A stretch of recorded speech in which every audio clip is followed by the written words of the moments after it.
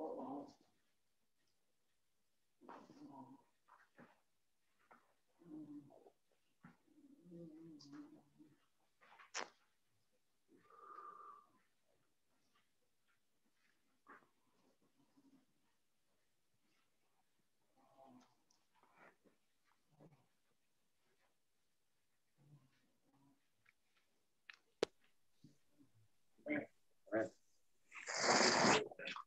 Ah, mais excusez-moi, on vous entend pas du tout.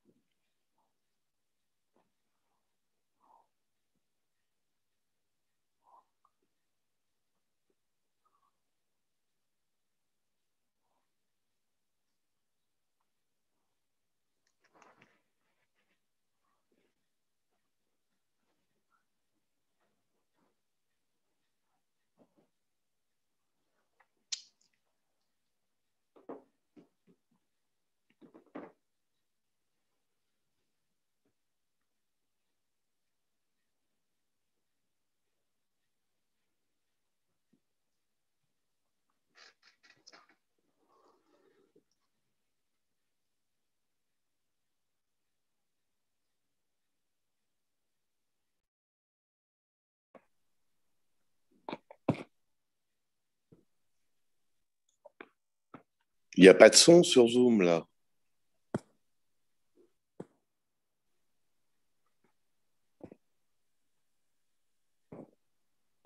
Il n'y a, pas de son. Il n'y a pas de son.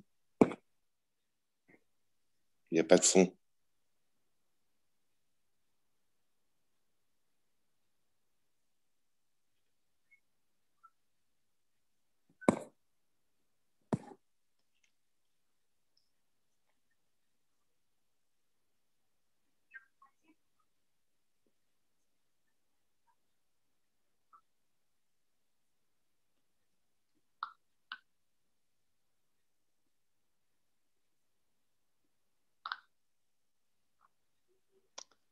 On n'entend rien.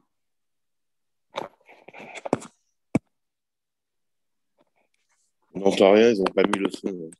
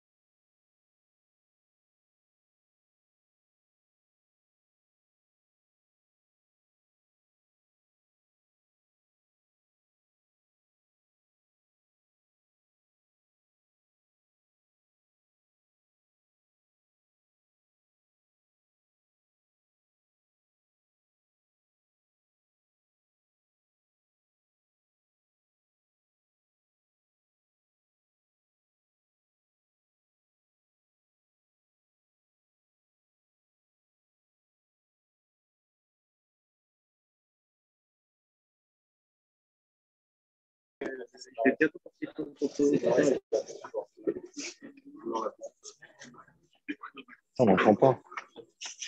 Voilà, on rattrape samedi parce que samedi on n'a rien fait, obligé.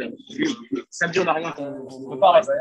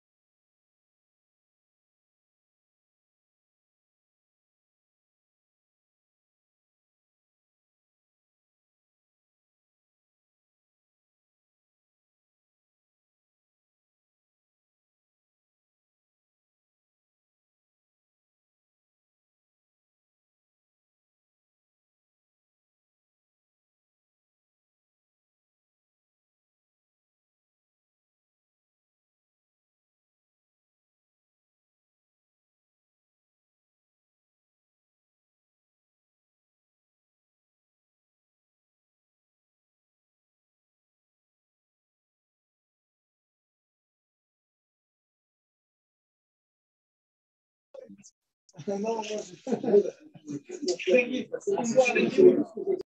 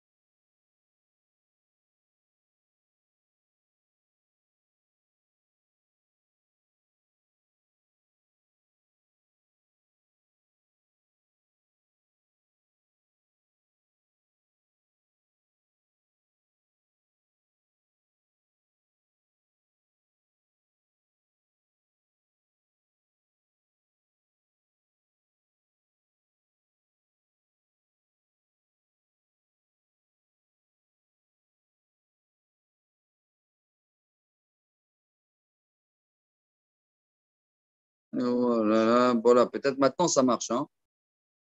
Je ne sais pas. J'espère, excusez-moi s'il n'y avait pas de son.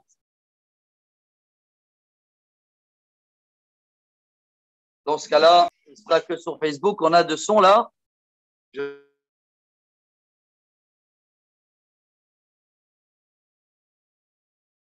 Ça devait être un cours aujourd'hui. Euh...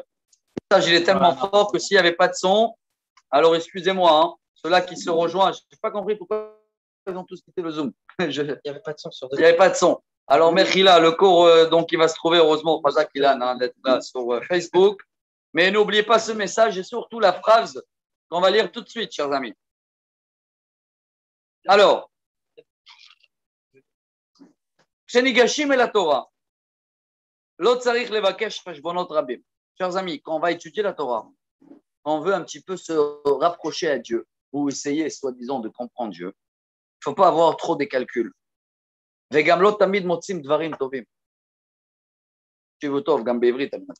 Pas toujours tu vas trouver des choses euh, conviennent. Peu importe, tu ne vas pas expliquer à quelqu'un que ses parents ils sont décédés à la Shoah, essayer de lui expliquer pourquoi Dieu il a choisi ses parents. C'est inexplicable. Tov, Mishumkar, les Acher, Mipam, les Pam, Ce serait bien de se rappeler tout le temps cette histoire, tout petite, et les trois lignes. Mishuba, l'arabe Mikotz, il y avait quelqu'un qui est venu chez le rabbi de Kotz, qui était un grand mort, je crois. Pardon, il y a à peu près une dose 200 ans. Et il avait demandé des questions voilà, sur la Shoah, des questions énormes sur Dieu. Et il a dit comme ça, écoutez bien la réponse. Hein. Elohim kaze, shekol tipas rucha yechola lavinoto, Bon, je vois Abraham, je traduis bien.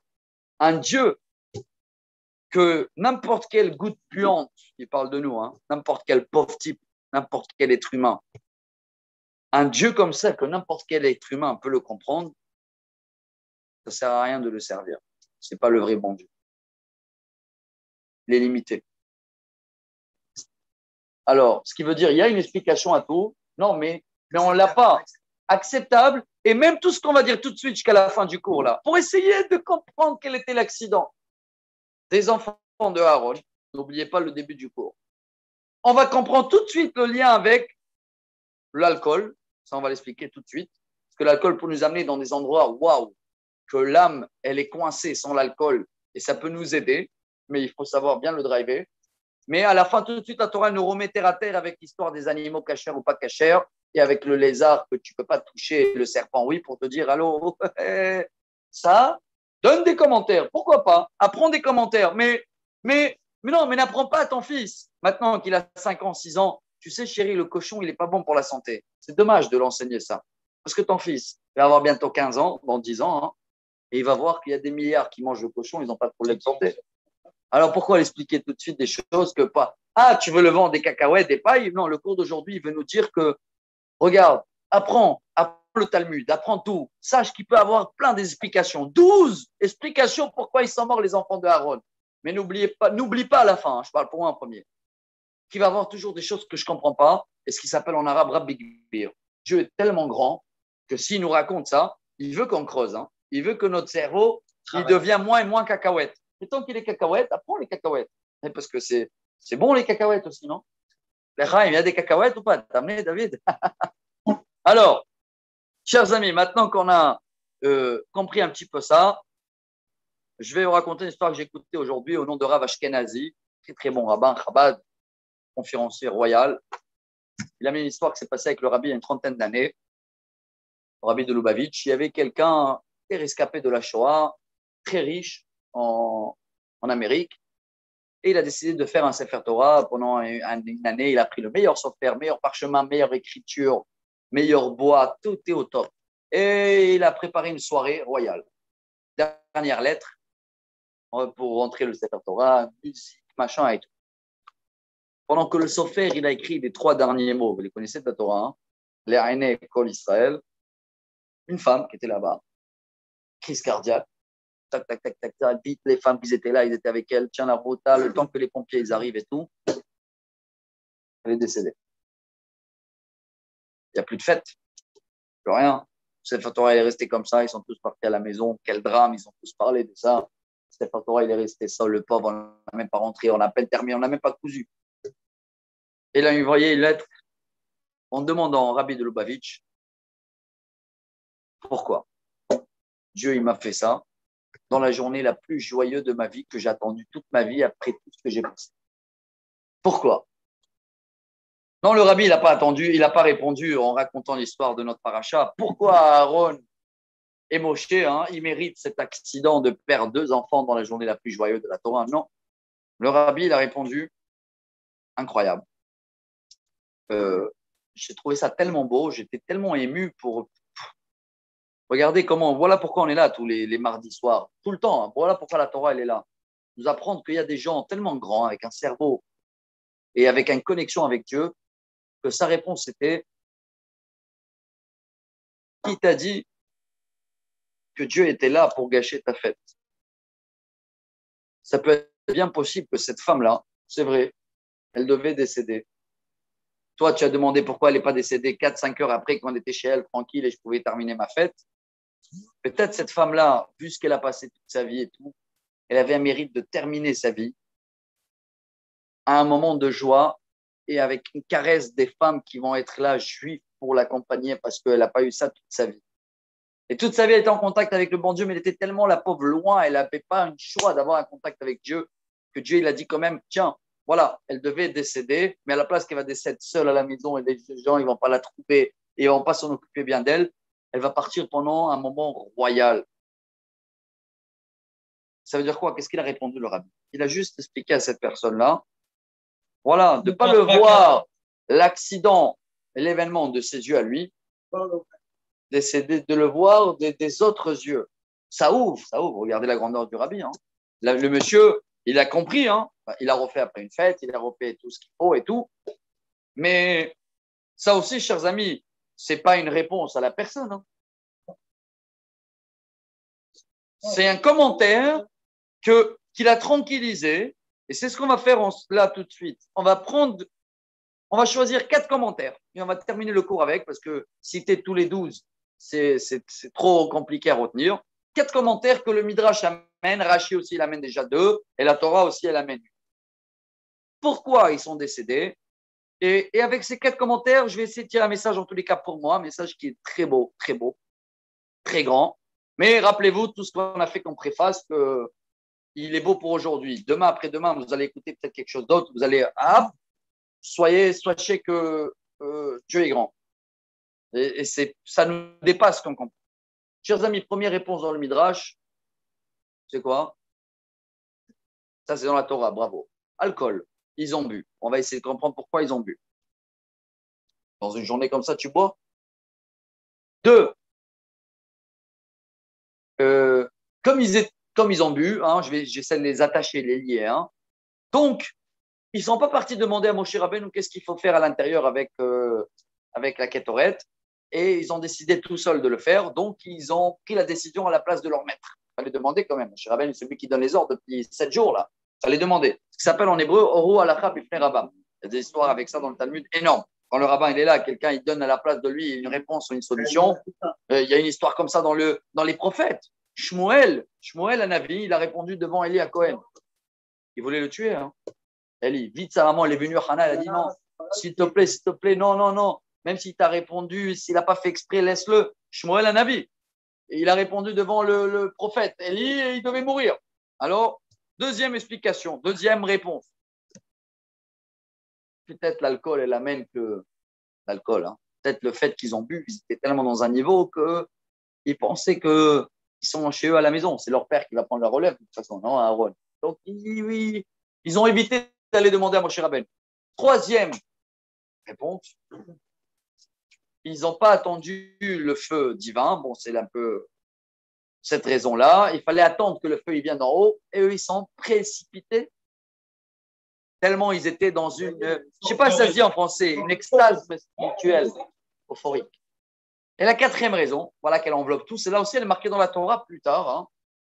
ils n'étaient pas mariés. Ils n'avaient pas des enfants, ils étaient célibataires. Quel est le lien entre ces quatre-là? Voilà, chers amis, ce qui est Hein?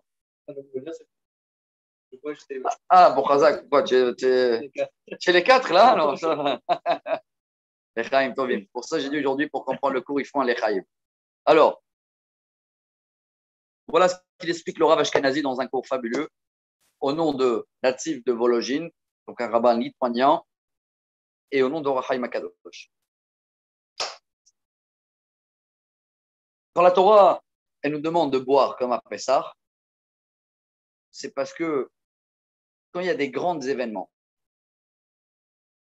des grands moments où l'émotion, le regesh, je ne sais pas comment on dit en français, où les sentiments et les émotions, ils sont trop fortes. Trop fortes, ça veut dire qu'ils dépassent, ils dépassent notre ustensile de travail, notre kelim, ça s'appelle en hébreu. Ça veut dire on n'a pas assez de récipients, d'accord? On n'a pas assez, selon notre cerveau et selon notre comportement, je peux pas, euh, cette émotion et sentiment, il doit dégager de chez moi. Il est plus fort que mes limites. Déborde de joie. Alors, ce qui va nous aider dans ce cas-là, d'accord, c'est l'alcool ou des autres choses, certaines personnes. Maintenant, vous avez bien remarqué qu'il y a des moments où Dieu nous demande de le faire pour justement dépasser notre limite. Vive le moment comme Pessah, en exemple qu'on a donné. Dans les cas très précis.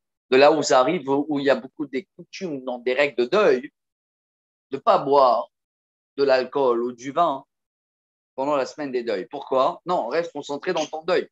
Tu risques. Donc le vin, pas il risque. Le vin, il amène l'émotion et les sentiments dans des endroits royaux que sans ça, tu aurais été coincé. C'est pour ça que Dieu il a créé. hein. Je vais vous donner un exemple très belle de la Torah. hein.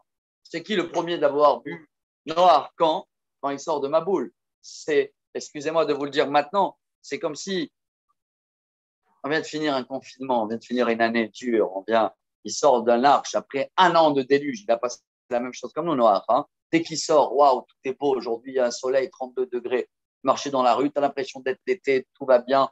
Alors, qu'est-ce que ça vous donne quand le soleil il sort comme ça? Vous savez qu'est-ce qu'il dit le Midrash? Il dit vite, vite, vite, Maxime Despères, entre Pessah et Shavuot. Vous savez pourquoi? Parce que le soleil il sort et le soleil il est en train de chauffer, de réveiller tout le Yetzerara qu'il a envie d'aller. J'ai envie de sortir, j'ai envie de m'éclater, j'ai envie de bronzer, j'ai envie de profiter. Oui ou non? Non, mais le cours il est pour nous tous, ne me regardez pas. hein. Je parle pour moi en premier, vous regardez comme si ça me concerne. Ça nous concerne nous tous, chers amis. Mais c'est pas pour rien que, chers amis, c'est pas pour rien que Dieu, vous savez quand le temple il a été pris, le tabernacle?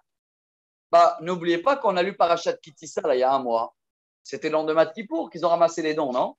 En 3-4 jours, ils ont ramassé les dons. En un mois et demi, c'était prêt. Hanouka, c'était prêt. Ils voulaient inaugurer. Qu'est-ce qu'il a dit Dieu à Moshe Non, non, non, non, non, attendez. Attendez le mois de Nissan. Bon, le Midrash dit le mois de Nissan, c'est le mois de la naissance de Yitzhak. Mais la vérité, c'est quoi? C'est parce que Dieu l'a dit à Moshe Non, Hanouka, c'est l'hiver et tout, c'est gris. Attends quand le soleil va, il va sortir, ce sera des belles journées, n'est-ce pas? Belle journée, regardez l'accident qu'on est en train de commenter là. Essayez de commenter. La plus belle journée, ce qui veut dire pour nous, on est en train de- de passer des bons moments là, chers amis. Et tout de suite après Pessah, où on devait boire, où on devait chose, Dieu nous dit hop, hop, hop, tout de suite, la paracha après Pessah, attention, hein, ne bois pas euh, quand tu vas faire la prière, ne bois pas en service, ne bois pas en volant, ne bois pas quand il faut pas boire. Modère, c'est ça, modérer, modérer la façon de boire. Qui veut dire, chers amis, pour nous, et je trouve ça tellement beau. hein. Regardez comment tout est lié. Si on lit cette paracha aujourd'hui, ça veut dire qu'on a, on a des sentiments qui sortent et, on- des fois ça nous dépasse un peu et on, on veut s'éclater, on veut s'évader. Des fois ça arrive du côté spirituel qui s'appelle en hébreu Cholat Ahava Ani. Je suis malade d'amour. C'est quoi? Il y a des gens qui vont tellement euh, vivre, tellement comprendre que ce monde-là, c'est faux. Ils vont tellement vouloir être connectés à Dieu que pour eux, se marier, ça va faire un, un blocage. Parce qu'ils vont vouloir étudier toute la nuit et de, de dormir euh, avec une femme euh, ou de le matin aller mettre les enfants dans les écoles ou de changer des couches. Ça les intéresse pas parce que ça va les enlever de le contact de Dieu. Il y a eu beaucoup des cas comme ça, des histoires comme ça dans la Torah. C'est ça, l'histoire de Nadav Avion. On est en train de commenter là. hein. On est en train de terminer le cours. Je ne sais pas si c'est terminé, mais je vous le dis la vérité, pas parce que c'est moi, je dis rien, je lis. Hein. C'est pas de moi les sources. euh, vraiment, il faut appliquer ce message. Je ne vais pas dire partager les réseaux sociaux, je ne fais pas là pour faire la publicité pour les cours et tout machin. Mais je trouve que ce message de la parachat Chemini, rien à voir avec mon nom de famille, il est tellement grand dedans parce que c'est l'événement le plus tragique qu'on essaye de commenter et qu'on a compris dans la préface qu'on ne peut pas tout à fait commenter, mais qu'il y a des messages qui se cachent pour nous énormes, énormes. Alors, d'être lié à Dieu d'une manière extrême, ce qui veut dire, un, de boire, parce que si on ne boit pas, on est déconnecté. On est en train de dire que selon le Rachaim Makadosh, ils ont bu exprès. Hein. Pourquoi exprès? Ils ont dit, attends, c'est une journée aujourd'hui où, waouh, c'est vrai qu'ils étaient déjà dans la montagne pendant les dix commandements. Donc, ils, savent déjà qu'aujourd'hui, c'est une journée où, où il y a le, le haut, il se connecte avec le bas. Et ben, ils ont dit, allez, viens, on va plonger, on va se mettre en haut. Excusez-moi de dire comme ça, on peut comprendre du Raïm Kadosh qui, non, qui ne voulait plus être dans ce monde. Hein. Il voulait délecter de la shrina. Je sais pas, ça, sonne beau. Je ne comprends pas ce que tu as dit, mais ça a l'air d'être beau. Délecter.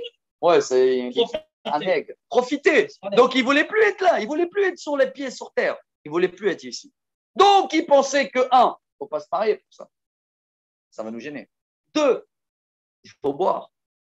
Trois, allez, on ne va pas attendre le feu parce que Dieu, Dieu, tu sais combien je t'aime. Tu sais combien je suis lié à toi. Les filines et tout, bon, c'est pas important. Vous voyez où ça peut arriver, l'accident, je veux comprendre. Vous voyez où le chose le plus beau dans la Torah qui existe et qui nous cadre, c'est les règles, c'est le maître, Ça nous remet sur terre, hein. parce que boire, il n'y a pas beaucoup qui boivent pour le bon Dieu, chers amis. C'est pourquoi Parce que si tu bois et tu t'éclates et parce que tu veux t'évader, parce que tu as des soucis, tu as tout, très bien, c'est pas cadeau dans ce cas-là. Si le lendemain, c'est pour toi, bravo. Si le lendemain, bravo, bravo, ça marche. Voilà le dixième, il est là, Arab Alex. Baruch Haba, Baruch Haba, arrête, arrête. Lechaim, Lechaim. La cavote, ça va. C'était Zoom ou Facebook Je sais pas si ça marche toujours Zoom. Je suis seul à Zoom, mais voilà. Rabbi Ayouch, il est là, Baruch Haba. Alors, écoute en direct, pas besoin. Tu peux écouter moi-même, je me trawef là. Lechaim. Ça y est, j'ai oublié avec le Lechaim. C'est le Par rapport à te voir. Par rapport à te voir. Voilà. Si maintenant tu bois et tu fais un lechaim et tu fais une fabrigen, disons on dit, chez une d'autre, et tu es content et tu veux un peu déconnecter, décompresser parce que tu veux, très bien. Mais demain matin, tu as raté la prière à cause de ça. Tu as bu pour toi, profané, hall. Si ça ne te gêne pas de comprendre que, allô, ce soir, tu madame, tu as des enfants, tu des couches à changer, tu des enfants à amener à l'école demain, tu des choses à faire, tu as des loyers à payer, tu as plein de prises de tête que Dieu il veut que tu te prends la tête pour ça. C'est facile de ne pas se marier, de ne pas vouloir et d'être. Pourquoi? Dieu il veut qu'on va glorifier son monde en étant vivant ici sur terre et non pas glorifier son nom en mourant pour lui. Non, c'est pas son nom. Bien sûr que quand ça arrive à des cas où il y a eu combien de fois dans notre histoire des personnes qui sont données al Kiddush Hashem, qui sont dans le top niveau, comme tous les soldats qui sont décédés en Israël, comme plein de personnes. Mais si Dieu nous a donné un guide un Torah, parce qu'il veut qu'ici, avec les pieds sur terre, et avec tous les galères et les soucis et les problèmes qu'on peut avoir, on doit être quand même lié à lui. C'est quoi qui va nous cadrer, chers amis? Les alachot, les règles. Alors voilà, si vous voulez, parce que je ne sais pas, ça fait combien de temps on est ensemble, mais je sais qu'on doit, voilà, euh, si, ça fait presque 50 minutes. Pour euh, résumer mon message personnel, hein, je parle pour moi aujourd'hui, que je le trouve un des plus beaux, vraiment, dans la paracha de Shemini, c'est de se rappeler qu'il peut avoir beaucoup, beaucoup des messages dans la Torah, écoutez bien, hein, cachés, que ces messages-là, ils vont nous aider à, à se réparer, à travailler notre trait de caractère, à avancer. En ce moment, on est dans les contes du Homer. Combien des gens, les pauvres, ils croient que le conte, le Homer, c'est des journées de deuil? Euh, Ils ont raison, mais à moitié. Pourquoi ils ont raison à moitié? Parce que l'accident qui a amené que ce sera des journées de deuil, ça s'est passé pendant Rabbi Akiva, il y a presque 2000 ans en arrière. Mais, mais quand Dieu nous a demandé de compter le Homer, c'est il y a 3300 ans en arrière. Et c'était quoi? Dieu il voulait simplement, je dis simplement, mais c'est très profond hein, dans mes simples mots, que Dieu il voulait que le lendemain de Pessah, on va mener quoi? De l'orge, hein, le début de l'orge, et que 49 jours après, on va amener quoi? Du blé. L'orge, c'est une nourriture animale, et le blé, c'est une nourriture humaine. Dieu, il veut juste nous faire comprendre que même si on vient de fêter notre liberté, ça s'appelle en hébreu Pessah, hein, on est libre, mais on n'est pas libre pour bronzer et manger la pastèque tous les jours et de dormir au bord d'un lac avec un transact. Ce matin, l'a dit, c'est ce qu'ils font les singes dans le safari tous les jours. Tous les jours. On n'est pas sorti d'Égypte pour être ça, pour être, des animaux, des animaux. Mais il nous faut quand même 49 jours de tous les jours monter à niveau. Ça s'appelle compter en hébreu. Svartem lachem. Tous les jours, on monte à niveau. Comme ça, après 49 jours, on comprend que on a été libre d'esclaves, mais pour travailler chez le bon Dieu. Et voilà le message qu'il arrive. Et ce patron qu'on a, chers amis, ah, voilà, n'essaye pas de le comprendre. Pardon. Essaye de, toi, donner des commentaires pour toi, pour commenter les histoires de la Torah, pour, pour répondre à tes questions au jour d'aujourd'hui. Mais n'oublie jamais que les réponses que tu as aujourd'hui, c'est pas sûr que c'est la vraie vérité. Hein. C'est pas sûr que s'il y a un an, ils ont dit à tout le monde, attention, il faut se mettre les gants, très dangereux et tout. Je vois pas aujourd'hui un avec les gants. Ils ont prouvé que l'inverse est devenu pas, dangereux même, parce que tous les microbes, ils s'attrapent. Vous vous rappelez pas, il y a un an, quand on sortait tous avec des gants, on achetait des gants, on les mettait comme ça, et on était sûr que ce qu'on écoute dans la média, ils ont raison, non? Ils avaient raison pas? C'était vrai? À l'époque, oui. Oui, parce qu'on l'a fait tous. Hein. Mais deux mois après, c'est plus une vraie vérité. Alors on vient de comprendre aujourd'hui que tout ce qu'on apprend dans notre vie, tous les commentaires de la Torah, je les lis, c'est pas mes mots, hein, j'ai honte même de les dire. Hein. Chers amis, c'est pas incroyable. Vous savez, ici, il termine avec une histoire, il dit comme ça.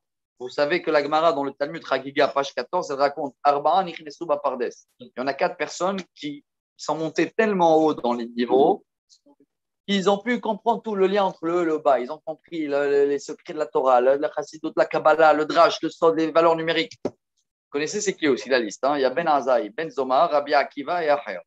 Quatre personnes. Hein? Ben Azaï, Baruch et Tzitzvamet. Klet.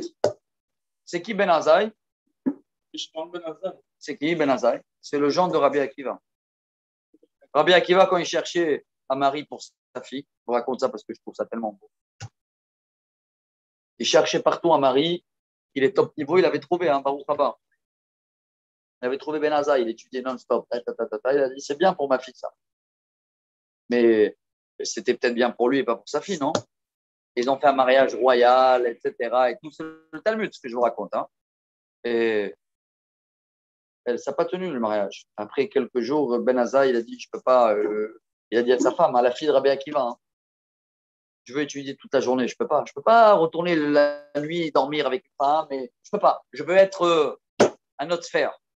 Maintenant, vous savez qu'est-ce que l'Agmara, elle amène ça comme quoi? Comme un exemple, comme quoi la fille, elle suit la maman. C'est qui la maman? Rachel, non? Rachel, elle n'a pas laissé son mari pendant 24 ans étudier Plus. Donc, la fille, elle pensait au rabbi Akiva, elle pensait que sa fille, elle est comme sa femme, que la fille, elle est comme sa mère. Mais le mari, Ben Azaï, était dans un niveau tellement haut que ça n'a pas marché. Mais à la fin, il arrive haut avec ce niveau-là. Il arrivait tellement haut qu'il est mort. Il est mort de quelle manière? Il est mort, si vous voulez, de, le même, de la même raison que les enfants d'Aaron, justement, dans la paracha. De être trop connecté avec le haut. Bon, alors il n'a plus rien à faire en bas. Voilà, chers amis. Il n'y a plus rien à faire en bas. Que Dieu, c'est quoi son message De la paracha? Allô, allô, allô, allô? Redescends comme les animaux, redescends sur terre. Ah, ah, il y a des choses que tu comprends, que tu ne comprends pas. Tu veux essayer d'expliquer de là. Très bien, essaye. Mais n'oublie jamais le jour où quelqu'un va te donner une explication et tu vas te dire waouh, dis-lui, dis-moi, tu peux m'expliquer l'histoire de la paracha de Shemini Tu peux m'expliquer pourquoi ils sont décédés, les enfants d'Aaron et tout? Ah, il va commencer à te dire, oui, le Talmud, ils étaient sous, ils ont bu du vin, et il va, il va te faire tout le cours d'aujourd'hui. À la fin, tu vas dire, tu dis, ah bon, bravo. Alors, euh, alors pourquoi juste après, Dieu, il nous dit de manger tel animal et pas tel animal? Tu peux me dire le lien? Et même s'il va te répondre à ça, va dire, et tu peux me dire alors pourquoi une grenouille elle n'est pas impure quand tu la touches. Et un lézard, oui. Et même s'il va te répondre à ça, il va dire, tu peux m'expliquer la choix et tu peux m'expliquer des autres choses. Et à un moment, qu'est-ce qui va, toi, tu vas comprendre que Dieu est tellement grand qu'il y a des choses divines qu'on ne peut jamais comprendre. Mais heureusement, c'est ça le but aujourd'hui du cours. Heureusement, parce que s'il y aurait eu quelqu'un sur terre qui peut m'expliquer tout, quoi, j'ai besoin du bon Dieu. J'ai plus besoin du bon Dieu, je vais aller le voir à lui. De là, il vient l'erreur où il y en a des personnes qui font des autres personnes des idoles. Il y en a des autres, qu'est-ce qu'il a dit ici? C'est des personnes qui mangent de la paille. Alors, ça leur suffit de la paille. Alors, ils sont contents de le niveau très standard. Alors, oui, chers amis, pour moi, la paracha de je termine avec, hein, c'est une de la plus, la plus profonde de la Torah. C'est pas pour rien que Dieu il a fait cet accident terrible dans la journée la plus joyeuse qu'on pouvait avoir sur le désert. Et c'est pas pour rien qu'il a toute la liste qu'elle nous concerne à chaque moment, à chaque verre. C'est cacheur, c'est pas cacheur, c'est halavi, c'est pas sari, le verre il est trempé. Vous savez combien, de temps, combien d'occupations de, tête et de cerveau ça nous prend les règles de cacheroute tous les jours? Et tout cela, il se trouve dans quel paracha? C'est mini. Pourquoi? Pour nous dire combien Dieu il est grand. Et combien tout ce qu'on a appris jusqu'à aujourd'hui, c'est beau, c'est mignon, ça peut être vrai, mais euh, ouais, c'est pas ça la vérité absolue. La vérité absolue, c'est que Dieu qui la connaît, qu'il est tellement grand que j'espère que le cours d'aujourd'hui nous a fait un peu plus confiance à comprendre qu'il est Dieu, il est beaucoup plus rapide, beaucoup plus grand que ce que nous on peut penser. Et venez, on essaye, hein, on essaye d'arrêter. Écoutez, sais pas si ça se dit bien cette phrase. Arrêtez de le limiter, le grand Arrêtez d'essayer de comprendre. Et là, on essaye d'arrêter de donner des commentaires. Oui, je comprends. Je parle pour moi en premier. Le Covid, il fallait le monde secouer et tout. Non, d'accord. Pourquoi alors en Chine, il n'y a plus rien? Et pourquoi là, on plus rien? Alors, tout ce qu'on a essayé de commenter, nous tous dans l'année, chers amis, hein, c'est beau, c'est mignon, mais c'est limité Dieu. Dieu est plus grand que ça. Je crois qu'on a passé une année que, en tous les cas, je parle pour moi, hein, je termine avec.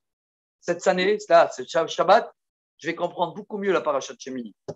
Parce que Dieu, il est beaucoup plus grand que ce que je pouvais imaginer ou ce que je pouvais apprendre, même en étudiant et en apprenant la Gemara et le Talmud. Et waouh, waouh, waouh, waouh, mais c'est beaucoup plus waouh que waouh. Alors, venez, on essaye de, de comprendre euh, ce beau message. Je trouve ça royal. Hein. Je vous demande à l'appliquer, à le partager, pas par Zoom parce qu'il y a la moitié sans, euh, sans son, mais essayez essayez de comprendre. Le cours, en tous les cas, je vous ai donné les sources, c'est basé sur ce qu'il dit le Rav. Et son titre, à lui, de ce cours-là, sur la parachat de Shemini, en hébreu, Lelo Esberim. Mazomer Rabbi Daniel, non commentaire. C'est-à-dire quoi? Ne cherche pas à comprendre. Cherche, cherche si tu veux, aujourd'hui. Mais au fond de toi, sache que ça dépasse tout ce qu'on peut comprendre. Si on comprend ça, bon, là, on revient à la Rabbi Nachman de Breslev, mais aujourd'hui, c'est une autre manière d'interpréter, bien sûr, cette phrase de Rabbi Nachman de Breslev, que celui-là qui n'a rien compris, il a tout compris. C'est ça qui est beau. Mais pourquoi pas? Essayez de comprendre dans tous les cas, chers amis. N'oubliez pas aussi le message de milieu du cours, parce que je termine avec le Lehaïm, voilà, en termes de livre, c'est que l'alcool ou toutes les autres choses qui peuvent te faire ressentir les sentimentales, tu m'as dit, les émotions et tout, c'est beau, c'est bien, mais on calcule, modéré. Il y a trop, c'est pas bon. Trop à perdre les limites, ça amène quand même à des accidents que c'est marqué, ça fait partie des raisons. Et les pieds sur terre, être content dans ce qu'on a et de faire plus et plus confiance au bon Dieu, parce que je suis sûr, je suis sûr que nous tous, on est quand même dans le bon chemin.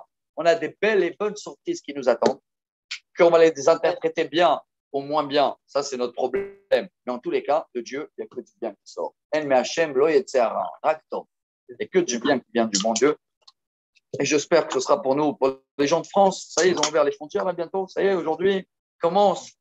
J'espère que bientôt, Bezrat Hashem, on va tous se retrouver avec la grandeur de Dieu à l'inauguration du troisième temple. Et va se passer très vite, cette fois-ci, sans accident, sans rien, car on a un petit peu compris mieux cette année le message de l'année dernière. Mais merci à vous de suivre sur les réseaux sociaux. Et si ce message vous parle, partagez-le. S'il ne vous parle pas, c'est normal aussi. Et si Dieu veut, on se retrouve la semaine prochaine. Bezrat Hashem. Baruch Adonai Amen, amen. רבי חנניה, אתה רוצה בעברית את השיעור עכשיו? רבי חנניה בן הקשה.